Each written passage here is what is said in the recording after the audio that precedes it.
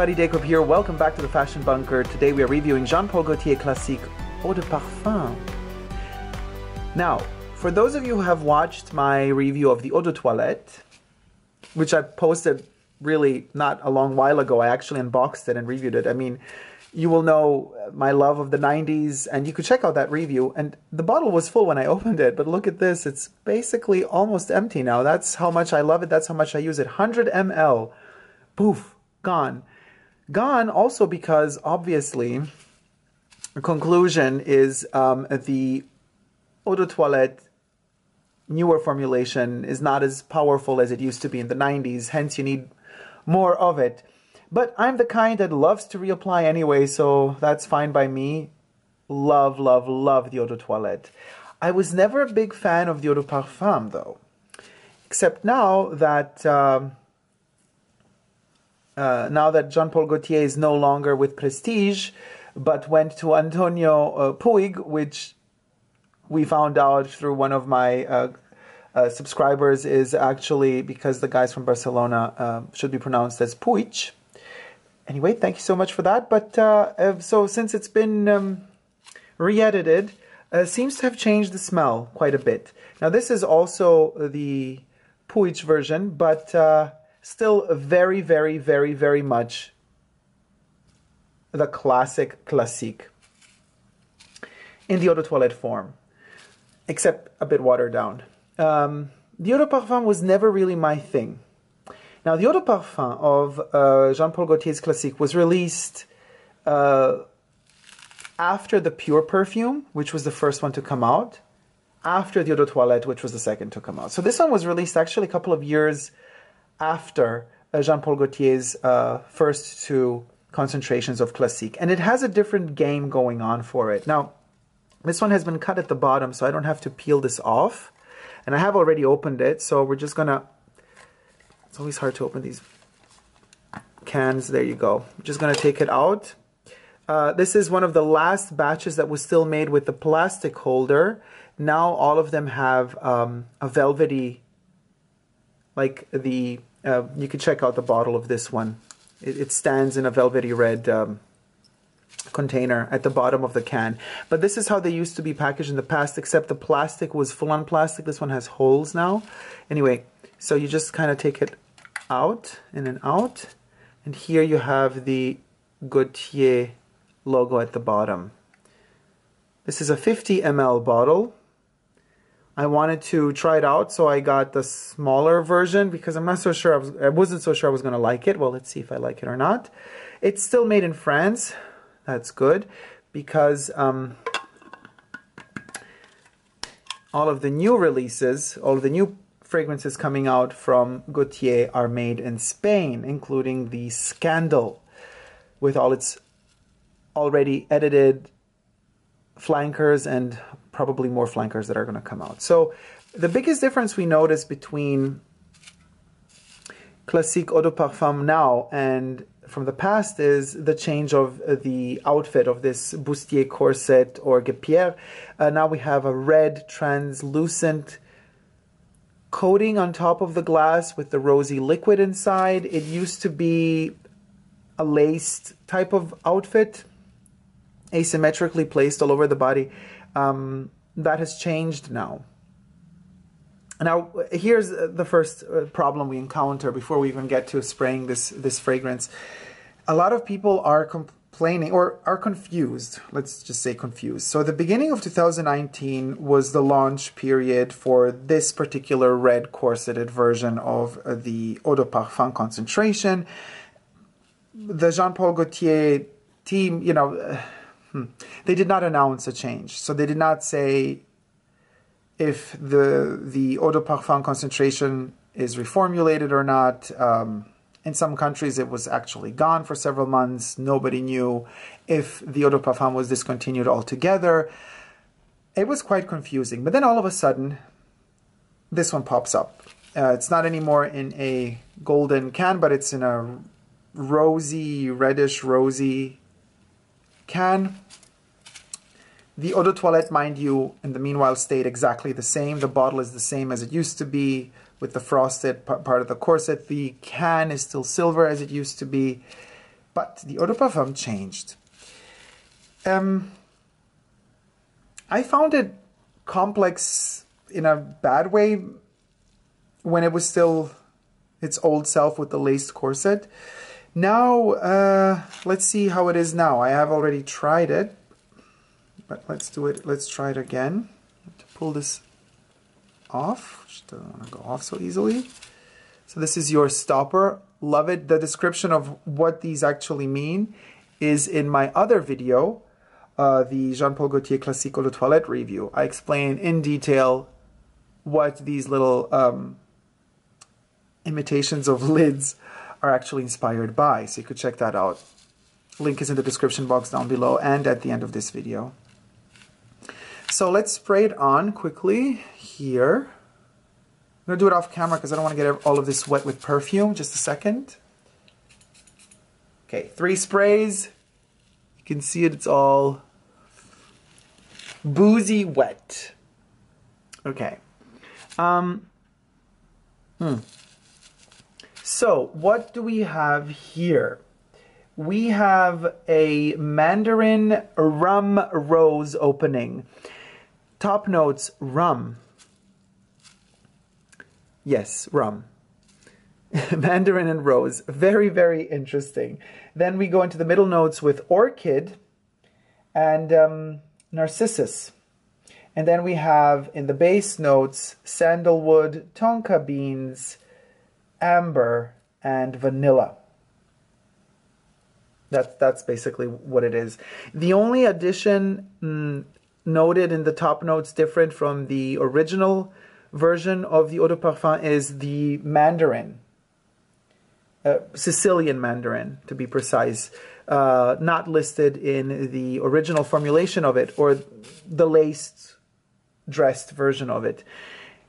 Um, what I find different personally is, well, before I get into the differences and similarities, let's just say, state that, again, this confusion is still all over the place. A lot of people do not know if this is a new formulation, if it's a flanker, if it's uh, a totally different rendition of Classique altogether, because as we know, every season Gaultier comes out with different outfits for the bottles, slightly different variations of concentrations or formulations of the bottles. There is a Classique Eau Fraîche, for example, the Betty Boop bottle that I have. Very heavy on the ginger and on the sugar cane. It's still Classique, but much different from Eau de Toilette. This one is heavier on the rum. So when I first spray it, it's kind of, it has reminiscence of the Betty Boop um, Eau Fraiche. Less sugar cane, like less of that cotton candy touch mixed with the ginger. And we, in fact, we don't have any ginger listed here, uh, even though I do smell it out. Uh, it's more the rum. But uh, it is so powerful. Um, and perhaps the absence of that gingery tone is what I'm liking here. Um, opposed to the ginger, we have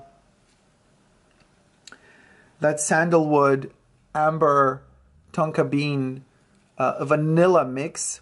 It's very heavy and deep. And to me, it kind of completely covers up the rose. Now, when you first spray it out, and that was literally the second after I sprayed it out, and I don't know if the camera catches, but my skin is kind of still oily. It's a there's an oily consistency to it. It's not just alcoholic. There's a heft to it. It smells like a like an 80s even or 90s pure perfume. Not Classique pure perfume. I also have the pure perfume of Classique, and I've also reviewed it on my channel, so you could check that review out as well. This smells like another type of perfume. It's like a concept of a pure perfume from the 90s, even from the 80s, because it has that 80s heft to it. And this new rendition of it is really, really good. Really good. I definitely recommend it. I was very pleasantly surprised by it. And and this is the funny thing. You see, it's um different enough from the other de Toilette to warrant its own purchase, to warrant its own storyline, you know, within this soap opera, within this telenovela, this Gaultier telenovela, you know, that is happening with all these like characters popping up. It's just like in Dynasty. They're all dressed with with these tight corsets. They're all hyper sexy and they have all really strong characters. This one warrants its own role. Uh, and you can see even the way that they've colored the liquid. This one has a peachy tone to it, and this one is rose. It's very, very different. Very different. And um, they are telling us that these are different products. And even though you smell out the DNA of both of them and you know that they are classique, this one delivers a facet that is way more seductive.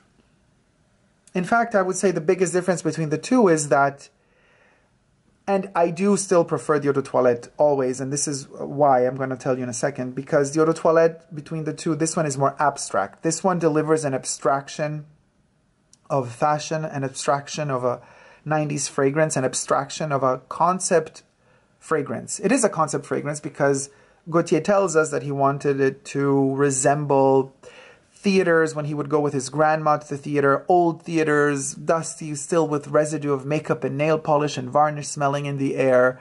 Um, and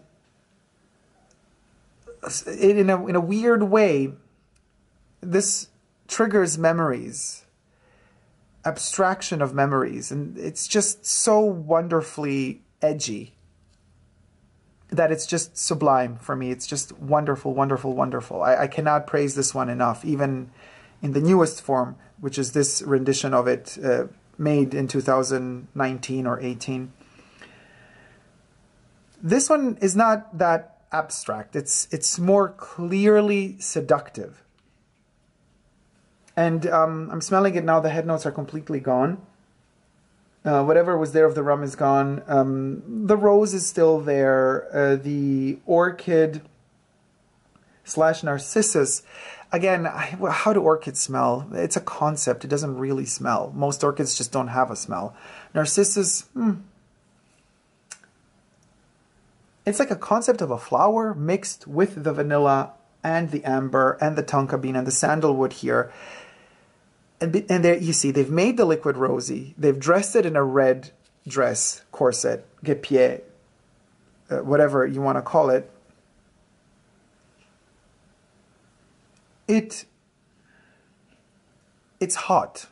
It's sizzling hot. And I haven't hit the dry down yet, but when I tested it out a couple of days ago, uh, the dry down remembers remembers? It doesn't remember much. It reminds me the dry down reminds me of dolce gabbana's first female release their first uh, pour femme their first female fragrance with the red uh, lid and the velvety red box. It has and guess what? That one was also released in the 90s so we're very close in terms of how fragrances were perceived and what were notions and concepts of fragrances back then, um, what was deemed sexy and what not, what was deemed seductive, what not.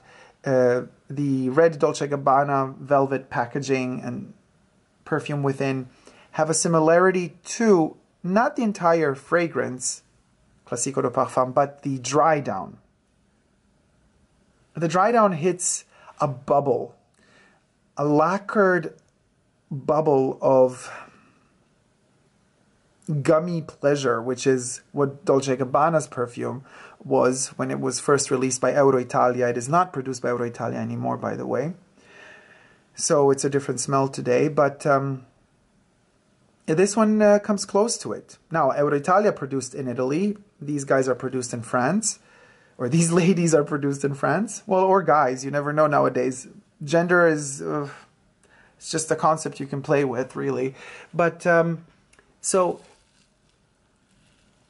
they're so similar in terms of being Gaultier. You know, you recognize the quality of a Gaultier fragrance, but they're different enough to warrant different storylines. I would say mm, it's as if we could put the Betty Boop bottle here, right? And that's more the gingery sugar cane. It's like this is the heart because it came first.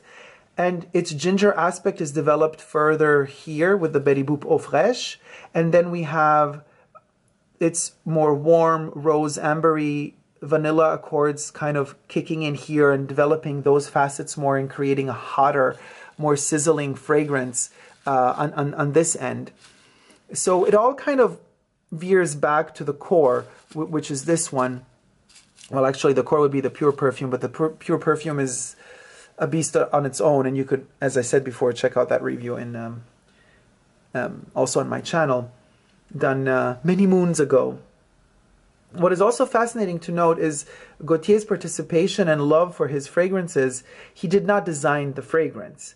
Um, Jacques uh, Cavallier is the nose behind Classique. Jacques Cavallier is also listed as the nose behind this rendition of Classique Eau de Parfum as well as the first Eau de Parfum. So we can deduct our, we could make our conclusions and say, okay, well then it, it maybe is the same fragrance or the same perfumer kind of Mm, approved of it, but you never know with the rights who holds the rights to these fragrances and how these names are then attributed.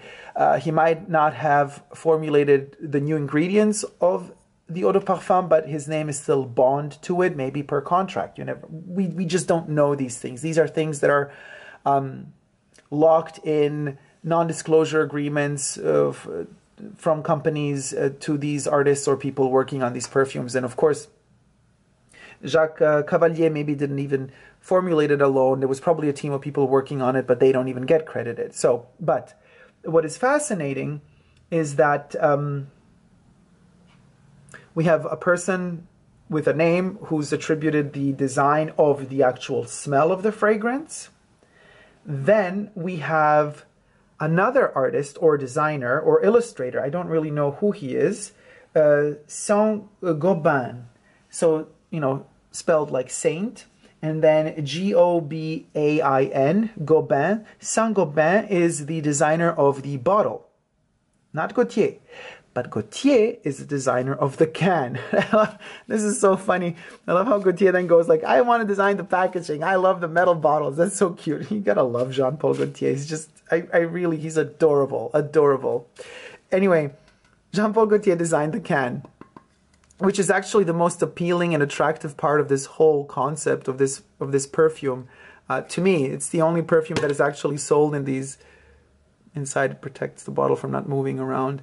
You could take this out actually, and then you can have this as a can and put stuff in it, pens or whatever. They're just so beautiful. Then you have the on the foil you get the uh, drawing or photo depicting what product is going to be inside the can. That is also really good to know. A lot of perfumes don't do that, so you don't know what's inside. So Gaultier designed the can. Saint-Gobain designed the bottle, and Jacques Cavallier uh, designed the fragrance. So, plus now we have this Antonio Puig family or company um, distributing and producing these fragrances, that's a fourth name. So, you know, a lot can go wrong. If too many people cook a soup, things can go terribly wrong. Did it go wrong in this case? Personally, for me, it, no, nothing went wrong. It's such a great, great smell. And um, again, this one is because it's so seductive, it's more for the evening. This one is all the time in the morning, afternoon, evening, night. This one is just so abstract and playful. This one is this one is like Kate Moss. You know why I say that? Because Kate Moss is um, a model that is so versatile. She's like a blank canvas. And in fact, she's one of those rare models whose um, advertisement campaigns can be seen all over Main Street, advertising at the same time for different brands. And even though it's her and she's so recognizable as Kate Moss, you still think it's a different she's still so blank of a canvas that she can deliver the concept for every design, every brand she's working for in a different way. Even though she might even have the same facial expression, it's still, she's so flexible and versatile that we imprint on ourselves the concept of what that brand is delivering through her in a different way because of their marketing. That's how versatile she is, and that's one of the main reasons why she is such an incredible and the best, in my opinion, model of the world she's just that nobody else can do that. No other model can be seen in one street on four different billboards advertising for four totally different products and brands without it clashing, but she can. So to me, the eau de toilette is Kate Moss. It's just that versatile. It's that blank canvas, and in fact, even the bottle with its um, iced kind of a, a corset or guêpier is um, is just that versatile. Here we're going more towards. This is more. Eh, this would be more. Somebody, hmm, who could this be more? I don't want to say Naomi Campbell. It could be more Naomi. She's more specific. But maybe Turlington. Maybe a Turlington. Maybe maybe it's more or hmm. Who else could it be? I don't want to say Claudia Schiffer because Claudia is too blonde for this. This is a it's a darker it's a darker scent. Uh, but it's way more specific, you know. You can't really um, it's not as versatile. I don't know, it's another model, but this is Kate Moss for sure. And That's why I suggest having both actually. With this one, you could play more. And with this one, you're just, you have to be ready for it. And I love fragrances that demand that of you. You know, they demand you to be ready for it. And when you're ready for it psychologically, you go for it. And that's just the magic of, of really good perfumes to me. And this one delivers. I just hope that they don't reformulate it. I hope that they don't start producing it elsewhere. You can see for now, it's still made in France. It's really hard to see at the bottom of the bottle, but at the bottom of the packaging, we can see it again. Where does it state there? Made in France. Um, try it out, you guys. Test it out. It is soapy too. You know, there's like a warmth to it, which is super strange. This kind of abstraction of, so it's warm and hot, but also soapy and clean but it's nasty too because it kind of tells you like okay yeah I, we could start the night off clean but i'm ready to get really dirty with you. So it's it's just that playful too and it doesn't take itself too seriously which is the most important part of anything that actually gaultier does including his fragrances and the design of his bottles and the whole concepts of his advertisement campaigns. He loves to have fun and we are forgetting how to have fun with anything nowadays. Everything is so politically correct. Everything is so limited to ah, don't you dare say that because it could be misinterpreted misunderstood. Somebody might get offended. Heaven forbid uh, you know. But then again the perception of everything is up to you. What offends me might not offend you and vice versa. And being able to laugh about certain mistakes errors or being able to laugh about just not actually not even about mistakes, just being able to laugh about not being perfect and enjoying our flaws is what the Gaultier concept is all about. And I love that. He's one of the only designers that actually brings all ages to the runway, all shapes, forms, and sizes from really skinny to really, you know, chunky. And they all look so beautiful and voluptuous in their own way. And all ages are represented and all skin types are represented. And everybody's just having fun, embracing who you are and embracing all those flaws, all the scars, everything you might have and enjoying it. Just enjoying it and laughing at it as well because laughing at it also takes away the stigma takes away the whole concept of uh, the shame. You don't have to be ashamed for anything that's a part of you.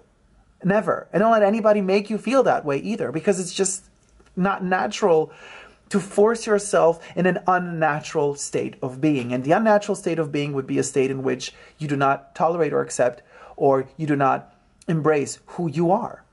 How unnatural is that? That is the most unnatural of things is to just completely reject yourself Gaultier is all about the opposite of that. It's about embracing yourself. And the fun thing about all of these bottles and uh, these perfumes is that it re- keeps reminding me of how playful it is because he, he mixes it up. He, he puts the sweet with the slightly bitter. He puts the powdery with the dry. He puts the soapy with the seductive dirty at the same time. Everything is mixed and everything is possible. And the fact that everything is possible is exactly the reason why his perfumes are so classique, as he names them, these in particular, because they're classic, timeless fragrances, because everything is constantly possible, and they keep you guessing. And that is the most you can expect from any fragrance, despite the fact that these are synthetic, what have you. Still, they deliver a dreamy state where they make me smile. And God knows that's hard nowadays. To make me smile these days, it ain't that easy. But uh, Jean Paul, you managed. So thank you so much for that. And um, guys, thank you so much for watching. I hope you like this review. Uh, I hope it was bubbly because this perfume smells so bubbly. Mm, I'm smelling it now. Uh, it's, it's just so much fun. I'm really in the mood for more Gaultier. So bring it on, Jean Paul. Bring it on. Thumb up this video if you liked it. And let me know what you think about these classique forms, formulations, the outfits that the bottles wear, whatever have you, all the playfulness that goes along with it in the comment section down below. Also, don't forget to subscribe to my channel here on YouTube. I'm also on Instagram, Facebook, Twitter, and on Patreon. Super Dacob all spelled together. Thank you so much to all my patrons who have already pledged. You keep the channel alive. And also, check out Ask Dacob, uh, the YouTube show where you get to call in and talk to me live in the studio, and all that ends up in a show where you ask me questions and we talk about all sorts of topics that are of interest. The link to that is also at the end of this video and also in the description box down below. Thank you guys so much. Until my next video, don't ever forget to never give up on love. Love you all. See you soon. Take care. Bye.